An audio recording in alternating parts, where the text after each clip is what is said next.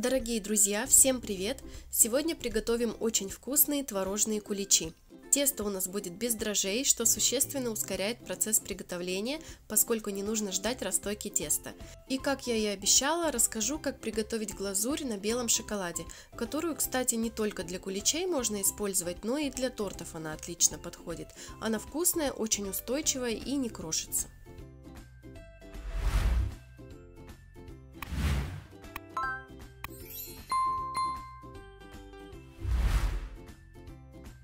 Куличи я буду готовить с сушеной клюквой, которую я предварительно промываю проточной водой и заливаю ромом, оставляя на 3-4 часа. Можно также заливать коньяком, а если не хотите использовать алкоголь, тогда просто крепким чаем. Можете использовать 150 грамм любых сухофруктов или цукатов. Когда сухофрукты настоятся, можно приступать к приготовлению теста. Нам понадобится 250 грамм творога, в идеале жирностью 5%. Его очень желательно измельчить в блендере до однородного состояния. Можно использовать погружной блендер. Главное добиться более гладкой консистенции, чтобы в готовых куличах не было твердых запеченных творожных крупинок. Творог пока отставляем в сторону и отдельно в чаше соединяем 2 крупных яйца, щепотку соли для баланса вкуса и 200 грамм сахара. Сюда же мы добавляем ванильный сахар или ванильный экстракт, одну чайную ложку. Яйца с сахаром взбиваем несколько минут миксером до пышности и посветления, так чтобы сахар полностью растворился.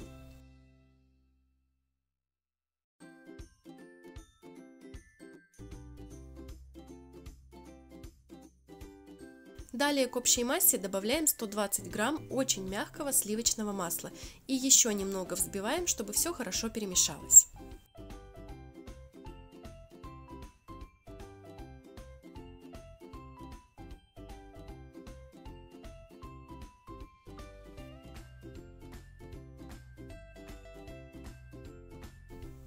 Затем кладем измельченный творог и опять же смешиваем все до однородности.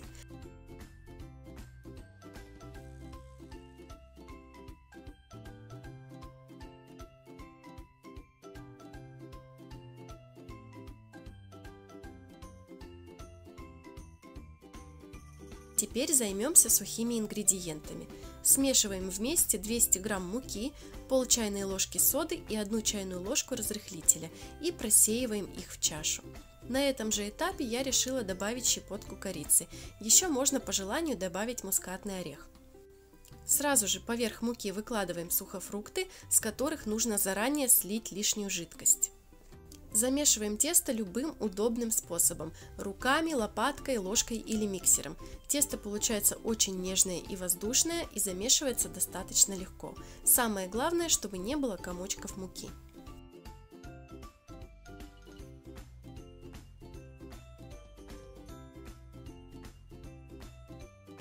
Готовое тесто выкладываем в формы, заполняем их на 2 трети, ставим куличи в заранее разогретую до 160 градусов духовку и выпекаем в зависимости от вашей духовки приблизительно 50-60 минут. Лучше всего выпекать в режиме верх-низ без конвекции. Чтобы проверить готовность куличей, вставьте в середину деревянную шпажку. Она должна выходить сухой и чистой. Готовые куличи полностью остужаем на решетке. Когда куличи остынут, тогда можно заняться глазурью. Для начала заливаем 2 грамма желатина 12 миллилитрами холодного молока и оставляем минут на 15, чтобы желатин набух. Когда желатин набухнет, начинаем основной процесс. 30 грамм сливок жирностью 33-35% нагреваем почти до кипения, но не кипятим. В чашу кладем 85 грамм белого шоколада и 10 грамм масла какао и заливаем их горячими сливками. Если масла какао нет, то допустимо заменить его на сливочное, но все-таки, если есть возможность, лучше готовить с маслом какао. Получится и вкуснее, и стабильнее. Сливочно-шоколадную массу размешиваем до полного растворения. Если процесс идет тяжело, то можно ее немного подогреть в микроволновке или на водяной бане. И в полностью растопленную массу добавляем белый пищевой краситель до получения нужного оттенка. Далее необходимо растопить желатин. Я его растапливаю в микроволновке за пару-тройку импульсов по 5-6 секунд каждый. После каждого интервала обязательно желатин хорошо перемешиваем. Растворившийся желатин добавляем к шоколаду и все вместе пробиваем погружным блендером до однородной гладкой консистенции.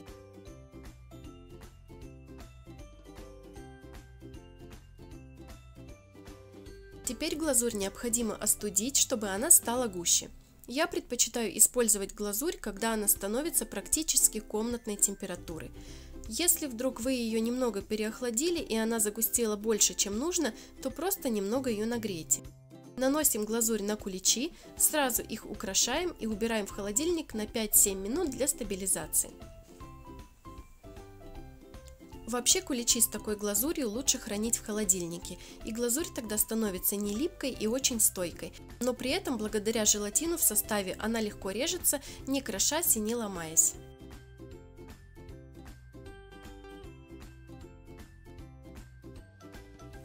Вернемся к куличам.